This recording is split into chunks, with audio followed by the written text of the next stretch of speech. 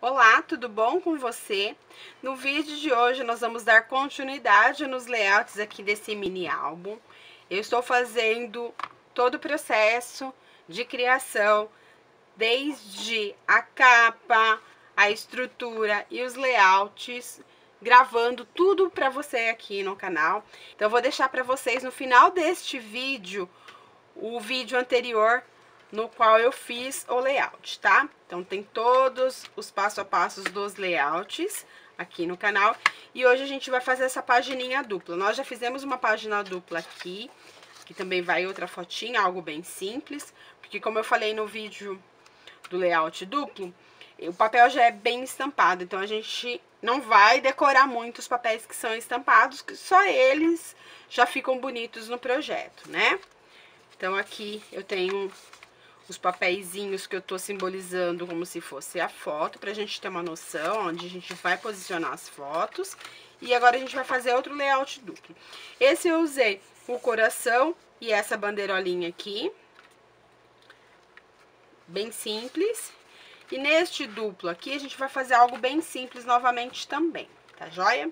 Então, eu vou simbolizar a minha foto aqui, só pra gente ter uma ideia, aonde a gente pode posicionar a foto tá? Eu gosto sempre de aproveitar os detalhes do fundo do papel. E com esse a gente vai fazer algo bem simplesinho mesmo, porque só o papel já chama bastante atenção. Eu vou colocar botõezinhos aqui pra segurar as fotos, tá? Então, vou colocar um botãozinho aqui, mas claro que depois a foto vai ser colada, tá certo? Então, aqui que eu já tenho a posição mais ou menos que eu quero que fique a foto. E bacana da gente ter essas estruturinhas aqui de, de como vai, vão ser as fotos pra gente colocar no projeto, já que a gente já não tem as fotos prontas, impressas, a gente consegue posicionar no lugar e depois tirar a medida por esta por esse papelzinho que a gente colocou pra criação de layout. O bacana também é quando você vai presentear alguém, né? Aí depois você pode fazer só os gabaritos pra pessoa cortar as fotos pro projeto. Então aqui eu vou colar dois botõezinhos aqui, fazer uma gracinha aqui. Então aqui vai ser o lugar da foto. Esses botõezinhos são os botõezinhos bem baratinhos que a gente compra assim, ó. Tá? Eu tenho várias cores dele. E eu usei eu tenho várias cores dele e eu usei esse vermelho. Aí eu passei a linha de pipa, a linha 10, né, que é bem grossinha. Passei aqui pra ficar bem delicadinho, porque os botões são pequenininhos. Agora eu vou posicionar a foto aqui e marcar onde eu quero fazer essa colagem, tá? Então, eu vou colar um pouquinho aqui acima do coração, bem em cima dessa palavrinha. E o outro eu vou colocar aqui, entre o coração e a ferradurinha. Então, vou posicionar aqui, que eu sei que eu vou colar aqui, tá? Então, vou passar um pouquinho de cola. Eu tô usando cola quente, porque esse projeto eu usei um kit digital meu. E os elementos e os papéis, eles foram todos laminados. Aí, se eu usar a cola de scrap ou a cola cascorés, ele demora muito pra colar. E a gente quer fazer um trabalho um pouquinho mais rápido, né? Então, eu tô usando, por isso eu tô usando a cola quente, tá? A única coisa chata dela é que ela forma essas teinhas de aranha, mas não é nada impossível da gente trabalhar. Eu tô usando o botãozinho vermelho porque ele conversa bastante com o layout, com o projeto. E eu vou usar nesse mini álbum somente botões vermelho, porque eu já usei ele aqui no primeiro layout, então eu quero repetir ele para ficar bem coordenadinho em todos os outros layouts, tá? Depois, se eu quiser posicionar outros aqui, eu já tenho eles ali colocado a linha. Depois, eu só venho finalizando quando eu fizer a aplicação das fotos. Então, eu coloquei aqui, então vai ficar aqui. Depois, a gente vai colar a foto aqui, eu posso até colocar uma fotinha um pouquinho menor. E pra fazer uma gracinha aqui agora extra, eu vou pegar um pedacinho aqui da minha linha pipa, vou passar aqui entre o botãozinho, peraí que descolou.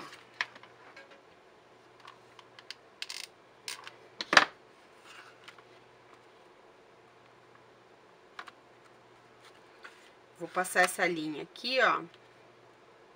Da pontinha dela. Passar essa linha aqui, fazer um charmezinho aqui, ó. Passar ela aqui em volta. Passar ela aqui.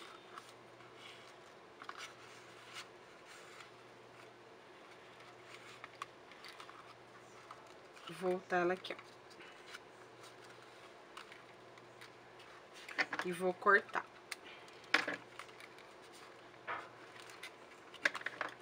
Vou até cortar um pouquinho mais. E depois, na hora que a gente for posicionar a foto aqui, eu quero que a minha foto fique desta forma, tá vendo? Com a linhazinha aqui aparecendo pra segurar. Eu acho que vai ficar bem fofinho. E como eu já falei, é bem, né, tem bastante informação aqui, a gente vai deixar ele mais simples possível aqui. E aqui embaixo, eu vou posicionar uma, um botãozinho aqui e outro aqui pra segurar. Eu vou posicionar um aqui, ó. Poderia colocar até na lateral, acho que vai ficar legal também. Onde vai ficar mais bonitinho, peraí. Vou posicionar, vamos ver. Acho que eu vou posicionar embaixo e também não vou passar a linha, tá? Então, vou colar aqui. Aqui.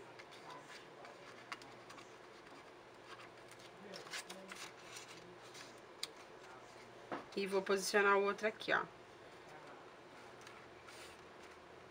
Pra ele ficar segurando aqui o nosso, a nossa foto depois.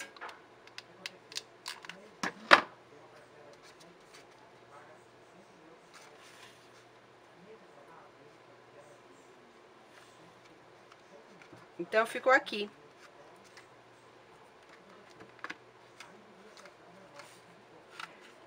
Se quiser passar uma linhazinha aqui, igual dá pra passar também. Mas já ficou assim, bem simplesinho, bem basiquinho. Aí, o que, que eu fiz? Eu cortei com o cortador, que tem uma... Que ele tem um escalope. Cortei, dobrei ao meio e a gente vai colar aqui pra fazer um charmezinho aqui também, tá? Poderia colocar assim, viradinho pra fora. Deixa eu ver a forma que vai ficar mais legalzinho aqui. Já tem um outro cortado. Vou posicionar ele aqui. Vamos ver. Colar um pouquinho, assim, pra ele ficar bem pouquinho pra fora. E depois a gente pode carimbar, escrever alguma coisinha aqui, tá? Então, vou posicionar esse daqui aqui pra dar um charmezinho no nosso projeto.